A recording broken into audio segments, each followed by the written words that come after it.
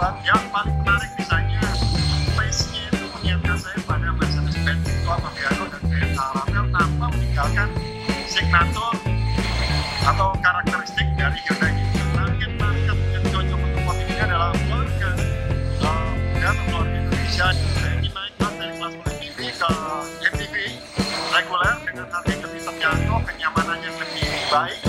Anda bisa memilih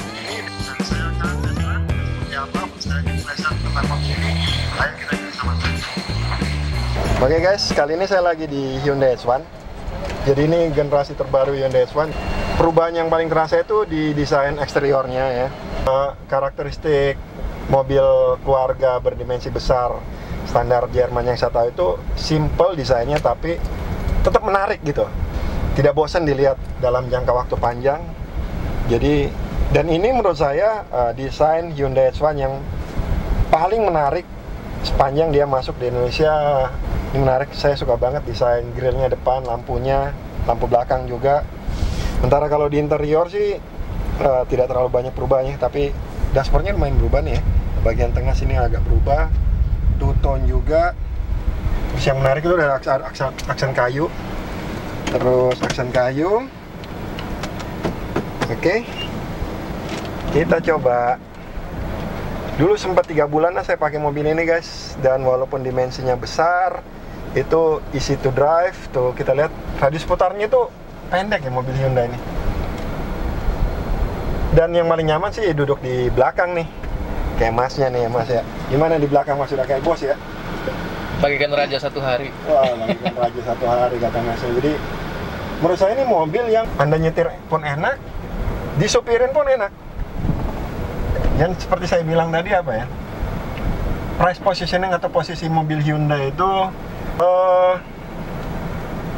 harga sih ya tapi taste dan taste mengendarai dan taste desainnya itu cita rasanya udah seperti mengendarai mobil eh, Eropa ya khususnya mobil Jerman. Menarik. Dan mungkin anda juga tahu ya ada berapa kali saya tulis di gbkdri.com bahwa Hyundai itu menjadi sponsor Piala Dunia dan mobil ini pun dipasarkan di Eropa nih guys di Inggris ada kalau anda buka situs Hyundai di Inggris ini mobil ada kalau nggak salah namanya apa ya saya lupa Eh, tapi anda bisa lihat lah di situs Hyundai Inggris ada mobil ini dijual dan dipakai untuk kendaraan operasional pada saat penyelenggaraan Piala Dunia Oke, oh di belakang kita ada Santa Fe itu. Tadi bapak itu. Oke, kita lihat radius putarnya. Ambil. Menarik guys, mobil keluarga. Wah, dapat guys. Itu radius putarnya Hyundai itu enak. Itu juga yang membuat mobil Hyundai itu pas lah untuk di Indonesia karena banyak jalan-jalanan sempit yang buat kita radius putarnya lebih mudah ya. Dan steering sistemnya ini tadi yang seperti saya bilang, ini apa ya?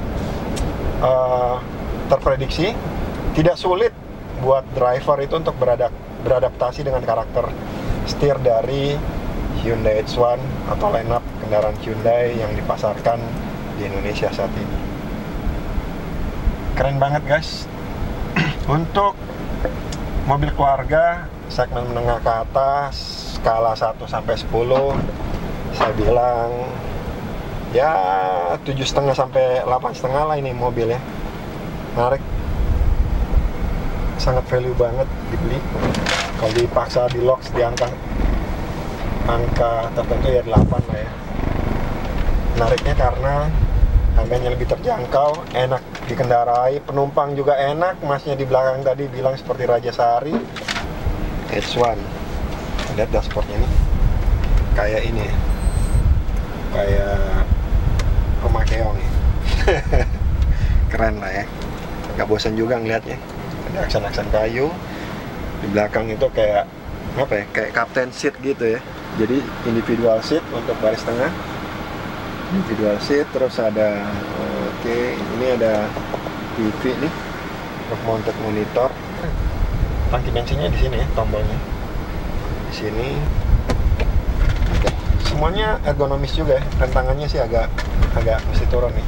Mungkin agak mesti agak ditinggiin dikit kali posisi rem tangannya kita harus agak turun dikit. Untuk menjangkaunya. Tapi di luar tangan ini semuanya ergonomis lah ya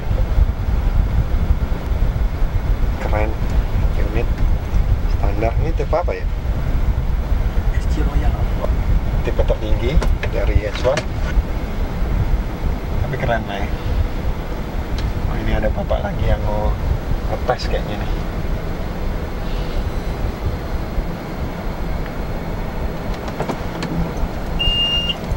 satunya mas ya? Sini Ya. benar ya? Ya.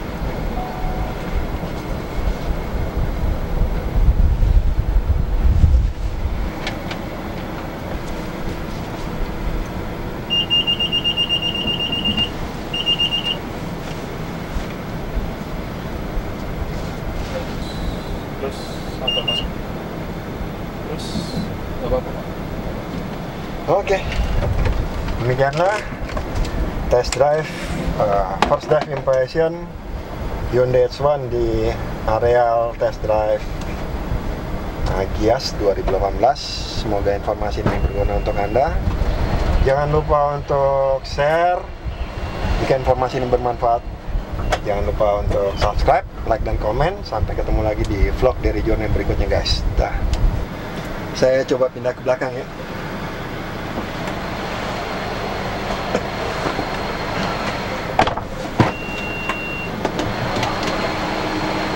Ah, jadi udah elektrik nih guys. Pintunya udah elektrik. Kita coba naik. Ah, aksesnya mudah banget. Duduk. Terkunci. Enak banget. Ini ada roof mounted monitor. Jadi untuk perjalanan jauh, anak-anak, istri nyaman lah ya di belakang. Terus duduk ya, posisi duduk kita lihat. Ada apa aja di kursinya? Wah, tuh ada sandaran untuk kaki guys. Jadi lo benar-benar kayak kalau pesawat jadi kelas bisnis lah ya. Tidur, waduh enak banget nih guys. Untuk harga 600 juta ini worth banget ya. Anda bisa dapat mobil dengan desain Eropa, terus nyaman banget di kabinnya. Untuk perjalanan jauh enak banget karena luas ya. Anak-anak bisa duduk di belakang, nggak capek juga. Oh, ada sandaran kaki, terus sudah elektrik semua nih ini tipe tertingginya guys oke terus ini ada nah ini ada kayak cup holder ya jadi kalau jalan jauh-jauh ah nonton ambil minum. Ah enak banget lah nih mobilnya oh ada jendelanya juga nih bisa tarik. Wah tuh bisa dibuka guys.